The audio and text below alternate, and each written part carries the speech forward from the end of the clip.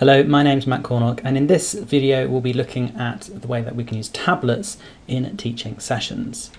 So first of all, let's think about the standard lecture situation. You're standing at the front and you're delivering your content to your students, but you want a little bit more interaction, you want a little bit more collaboration. And so you split your students down into groups and you get them to work together, maybe solving a problem. But how do you actually know what they're getting up to and how do you help them focus their attention?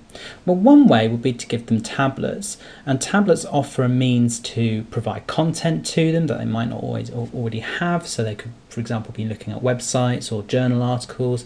And you can also use them as a way of getting them to provide a content to you. So, for example, if they're using collaborative documents, you could then go to your Lectern PC and look at the documents as they're being written and provide feedback on those documents in a live situation within the lecture.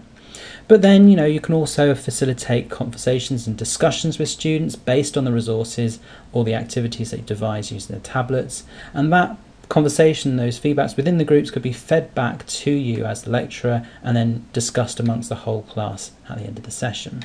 But any activity that involves tablets needs to have three key things. First of all, you need to focus the attention of the students. The tablets themselves could act as a distracting element. They could be a novelty item. Therefore, you need to focus attention as to why you're using the tablets. And you do that by identifying a clear objective, a clear learning objective, the purpose of the activity. Finally, you need to specify really clearly the output that you're expecting from the students after that period of activity. And that could be, for example, a, a, collaborative document that you then review. It could be a discussion and then you want to get them to feedback from the discussion. It could be um, a, an artifact such as a photo that you want them to take based on the work they've done together. So let's have a look at some of the different types of activities.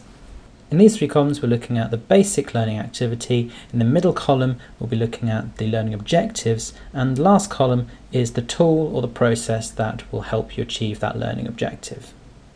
So there are different types of activities you can use with Tablet. The first one, a very simple process, read a short article. Here you'd say identify the key points or analyse an argument or contrast the opposing views presented within an article. And therefore using the tablets they could find an article using web searches, or they could open readings that you've preloaded onto the device. Analysing a dataset is another type of activity. This you can use the tablets here to identify trends and interpret data and because you're doing this within a classroom environment you have more of a dialogue about understanding what these trends and interpretations might be. You can use visualization apps via websites to access and present data. Tablets can also be used to help discuss a topic. In particular, they can be used to capture the ideas amongst the students or collecting questions um, that the students might want to pose to you.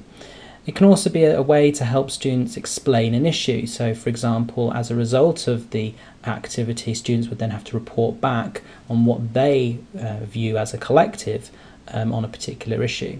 So they can make notes using post-it note apps or using Google Docs to make more fuller notes.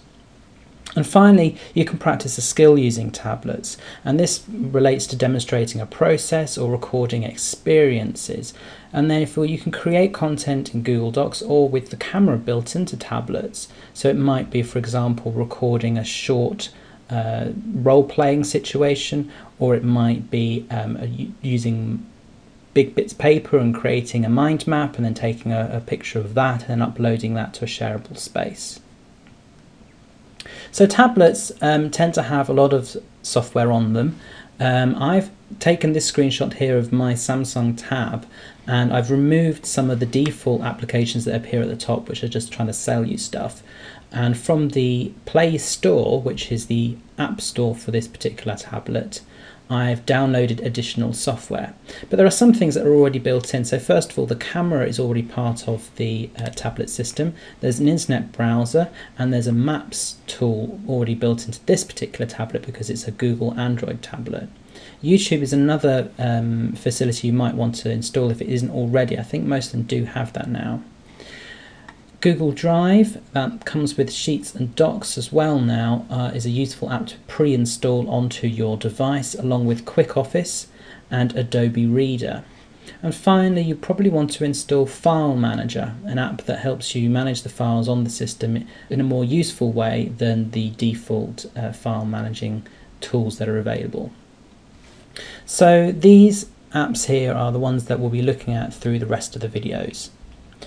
To summarise then, tablets enable accessing and interacting with resources and it also allows students to contribute and collaborate.